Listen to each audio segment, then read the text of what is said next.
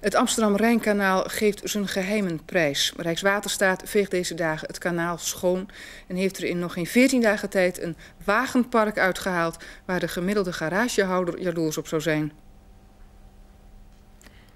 Rijkswaterstaat is tot Nieuwegein gevorderd. Het 75 kilometer lange kanaal wordt van Amsterdam tot aan Tiel aan de hand van een sonor in kaart gebracht. Die sonar speurt alle wrakken en andere voorwerpen op. Zo ook de tientallen winkelwagentjes bij een supermarkt in Diemen. Een duiker inspecteert daarna de wrakken en voorwerpen. Vaak vindt hij meerdere auto's op elkaar. 129 zijn er tot nu toe opgehaald. Waaronder een kampeerbus en een bestelauto met een brandkast. Opvallend veel duurdere auto's zitten ertussen. Rijkswaterstaat verwijdert ze omdat ze de scheepvaart zo langzamerhand gaan belemmeren. De meeste auto's blijken gestolen te zijn. Veel missen een aantal onderdelen, die werden ervan afgesloopt, waarna de wagen in het water verdween.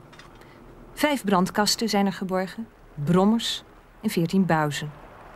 Een paling werd voor 20 kilo opgehaald. De auto's gaan naar de sloper, de paling nemen de bergers mee naar huis heb ik nog een laatste bericht. Zo'n 100 Molukkers moesten vanavond in allerijl het gemeentehuis van Vught verlaten... nadat er een bommelding was binnengekomen. De Molukkers waren daarvoor overleg met minister Brinkman van WVC... over de voorgenomen sluiting van hun woonoord Lunette. De Molukkers die daar wonen, die willen niet weg. De minister is uitgeweken naar het politiebureau... waar het overleg nu wordt voortgezet. De politie doorzoekt op dit moment het gemeentehuis. Dan nog het weer met Henk van Dorp. Ja, het gaat vannacht flink stormen. En dat is na het rustige hoge drukweer van de laatste weken toch wel een grote overgang. In hoog tempo zijn we in de ban geraakt van actieve stormdepressies. De eerste trekt vannacht over de Noordzee naar Scandinavië. De komende uren draait de wind bij ons van het zuidwesten naar het westen en het noordwesten. Zwelt flink aan tot stormkracht, mogelijk zelfs zware storm.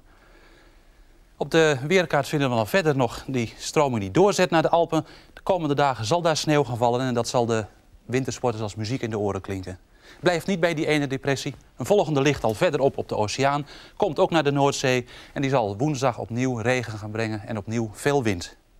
Op de bewegende beelden zagen we vandaag al de stormdepressie ontstaan ten zuiden van IJsland. Wij begonnen nog met flink wat zon vanochtend, maar in de loop van de dag kan die bewolking snel opzetten Laat in de middag ging het regenen en inmiddels is dat regengebied al voor een groot deel ons land gepasseerd en komen we in die wat koudere lucht met buien. Daar zal ook de meeste wind gaan ontstaan.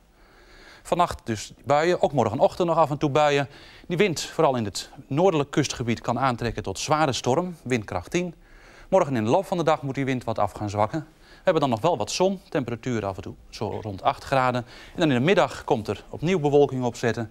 De avond regen en dat is dan de voorbode voor de volgende stormdepressie op woensdag. Dat was het 8 uur journaal van vandaag. Tot dinsdag. Tot morgen.